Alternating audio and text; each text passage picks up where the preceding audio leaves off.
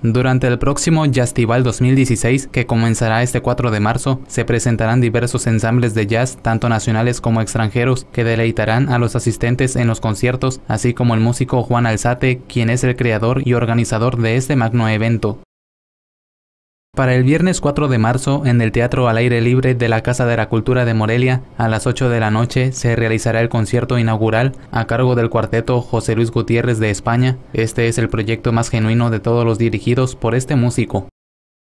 El sábado 5 de marzo, en el Teatro al Aire Libre de la Casa de la Cultura de Morelia, a las 8 de la noche, se hará presente el cuarteto Rodrigo Neftalí de México, el cual es un ensamble surgido por iniciativa de este músico que interpreta temas originales basados en estilos y texturas del jazz con reminiscencias de la música clásica.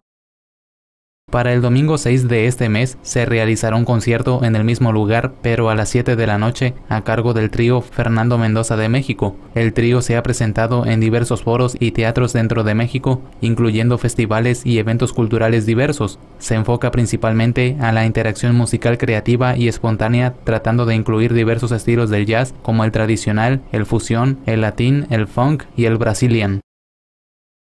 El miércoles 9 de marzo a las 5 de la tarde en la explanada de la Universidad Vasco de Quiroga en Morelia se presentará Big Band de Jazz Latino del Conservatorio de las Rosas. Sus miembros son de ese lugar, de la Facultad Popular de Bellas Artes de la Universidad Michoacana, artistas de jazz de la comunidad y profesores de las instituciones mencionadas.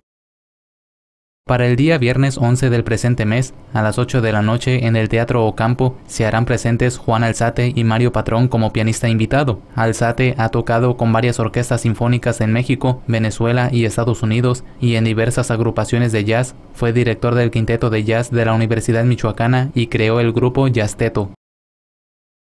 Asimismo, para el sábado 12 de marzo en el Teatro Ocampo, a las 8 de la noche, se presentará el cuarteto Drifter de Bélgica, el jueves 17, en ese mismo lugar, el grupo de etno jazz fusión Blurepecha dará un concierto a las 8 de la noche. Este grupo difunde el jazz tradicional y contemporáneo e incluye las raíces musicales michoacanas dentro del proyecto. El día viernes 18 de marzo, de nuevo en el Teatro Ocampo a las 8 de la noche, se realizará el programa Prácticas de Vuelo, el cual propiciará un espacio del más alto nivel académico y fomentará la creación musical con nuevas tecnologías se desarrolla a través de cursos, tutorías y actividades académicas para apoyar los procesos creativos. Además pretende encontrar espacios de vinculación profesional para jóvenes compositores en el ámbito de la música electroacústica.